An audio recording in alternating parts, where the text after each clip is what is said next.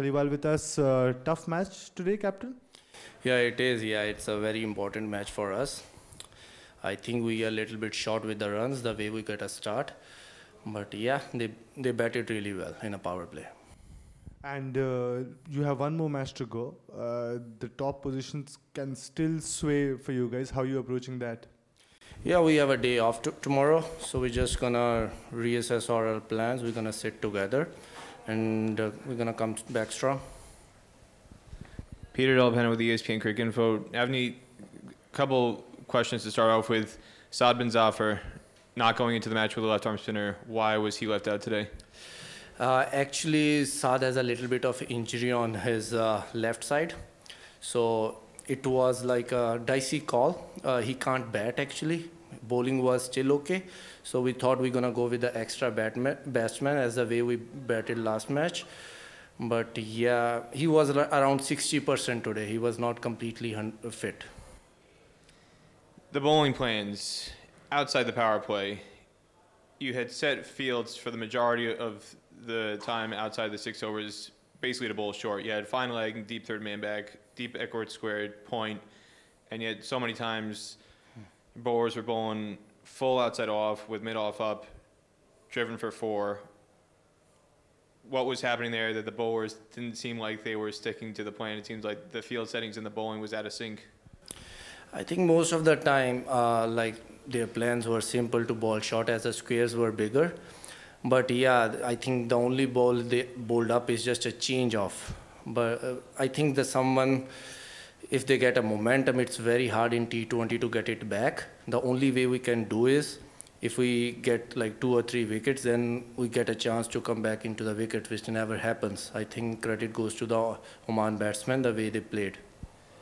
On that point about not having enough runs, again, selection-wise or strategy-wise, Hamza Tariq had a big finish in the match. I believe it was against Nigeria, hitting quite a few sixes towards the end of the innings and you needed a big push at the end. Why was he not sent in in the position that Abraash Khan came in with about six overs to go? Uh, the last match, Abraash Khan finished really well.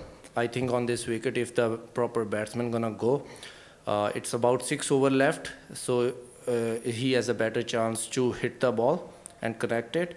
And Hamza Tariq, if if we give like 18 balls to Hamza Tariq, he's gonna be more effective yes, that backfire us, uh, backfire that today, but we're gonna rethink about it and gonna come back strong in UAE game. Knowing that UAE is a little bit shorthanded with their squad situation that's been unfolding for the last week or so, how confident are you going into that match, knowing that basically win and you're in the playoffs, but lose, there's a very good chance you may fall below that fourth position? Uh, right now, I'm not thinking much about UAE team. Our more focus is about ourselves. We need to fix uh, our execution and adapting to the wicket. Uh, so it's not about UAE anymore. It's just focus on our plans and executing that. If Saad was not fit tonight, again having a variety in your the attack. I know you talked about wanting to play an extra batsman, but why?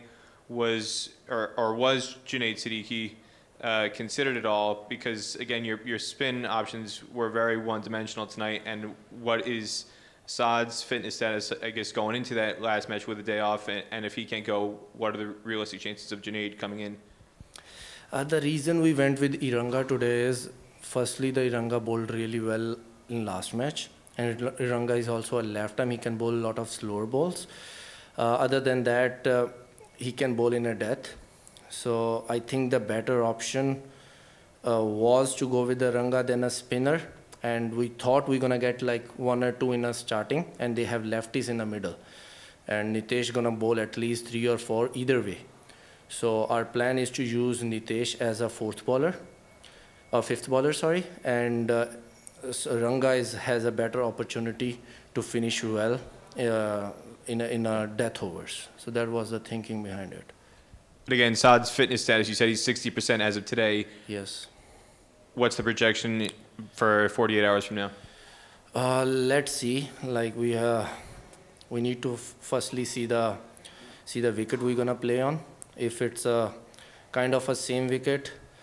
Uh, I, I think it's more about uh, how he feel in batting. Right, right now he can't play anything square. So if he's a little bit okay, then like 10% more, we'll go with the Saad. That's it. Yeah, I don't have any more questions. Thank you so much, Anil. That's Yeah. Thank you.